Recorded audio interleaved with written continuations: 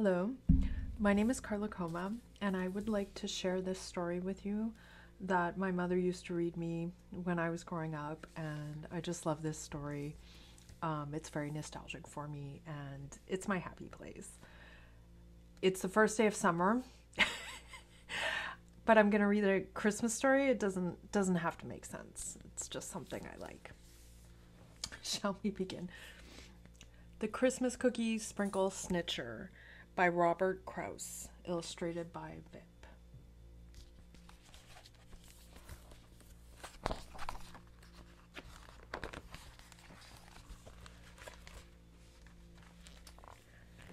To the quiet woman. What does that mean? Let me see the page. In a neat little village all covered with snow, sleep apple cheeked children, their hearts all aglow, dreaming of morning when they will awake, hungry for cookies their mothers will bake.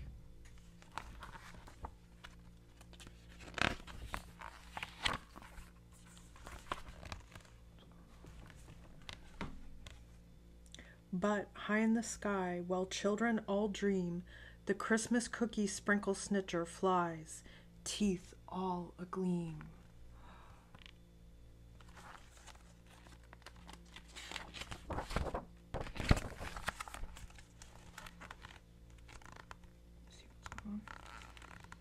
He lands with a bump, then, quick as a wink, he's into the pantry, snitching a sprink.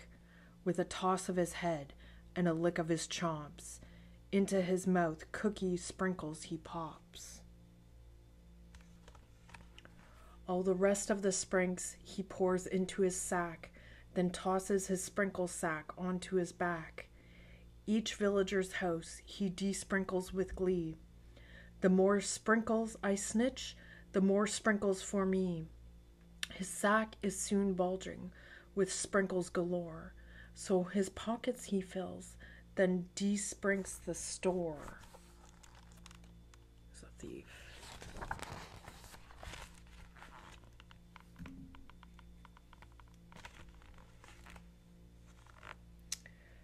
At midnight last stroke the village is bare, not one unsnitched sprinkle is there anywhere. Happy at last that he snitched all the sprinks, the snitcher flies home to snatch forty winks. The audacity.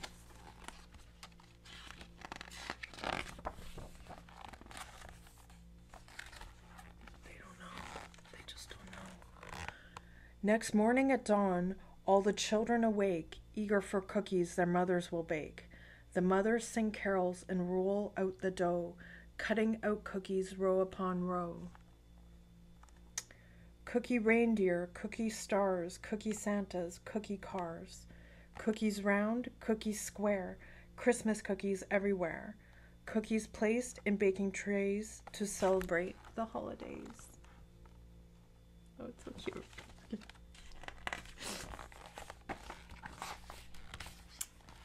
There's so much detail in these pictures. I'm like not doing it justice.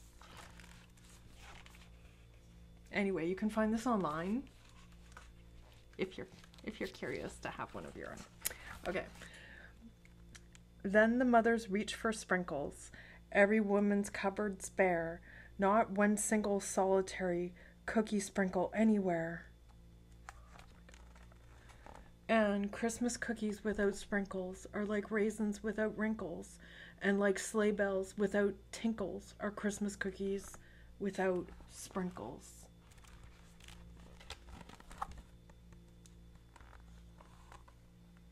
She's so shook.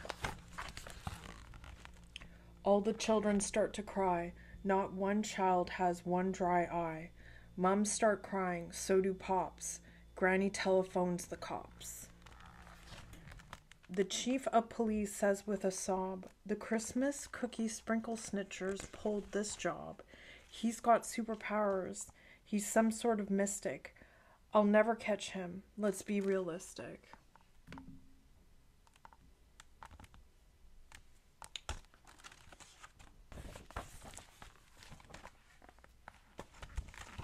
But a plucky kid named Little Nat knew in a flash that he had to act fast, or Christmas cookie baking time would soon be past.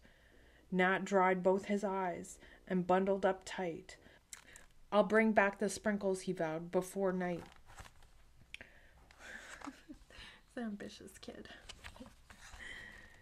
Though the snitcher was gone, he'd left a trail of dropped cookie sprinkles. Nat said, I'll not fail. The trail of snitch sprinkles on this cobblestone street will lead me, I'm sure, to the snitcher's retreat.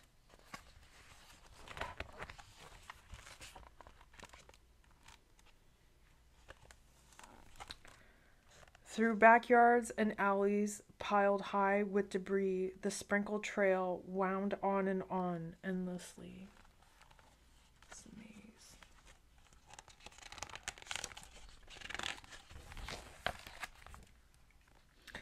Through snow covered woods on ice floes and rivers, poor Nat got the shakes, poor Nat got the shivers.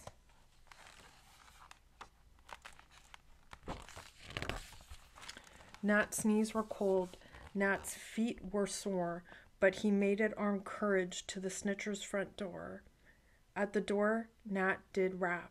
At the door, Nat did tap. But inside, the snitcher was snatching a nap. Nat kept rapping, Nat kept tapping. The sprinkle snitcher just kept napping. Mm.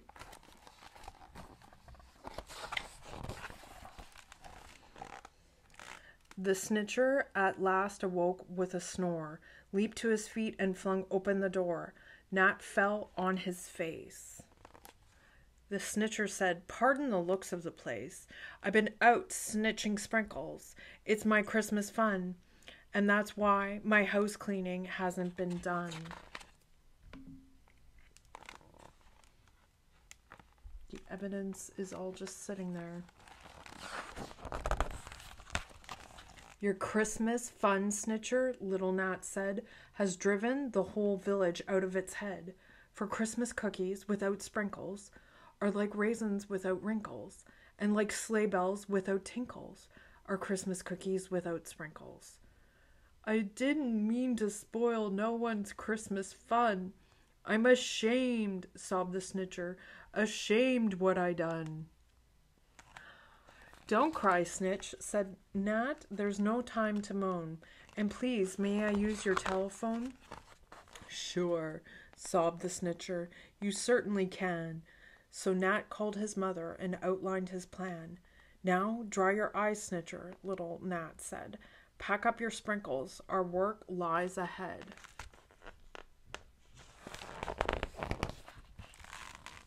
They're going to figure it out. Out through the door and into the air, back to the village, flew the curious pair. As they circled on high, Nat looked below and saw all the villagers' faces aglow. He's going to redeem himself. Each village woman, child, and man, with unsprinkled cookies unbaked in a pan. Then sprinkles swirled down like new fallen snow, making beautiful patterns on cookies below.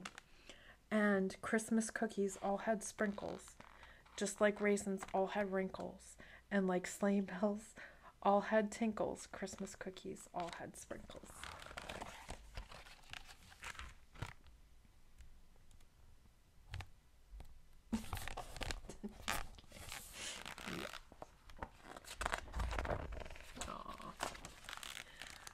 You've taught me a lesson, little Nat, said the snitcher. Though I haven't a sprinkle, I've never been richer. I know now that Christmas is not being greedy. Christmas is spreading sprinks to the needy.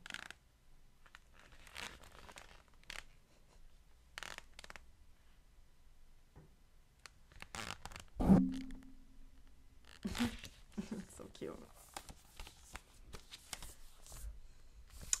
So, Life's Better with Sprinkles. Hope you enjoyed that.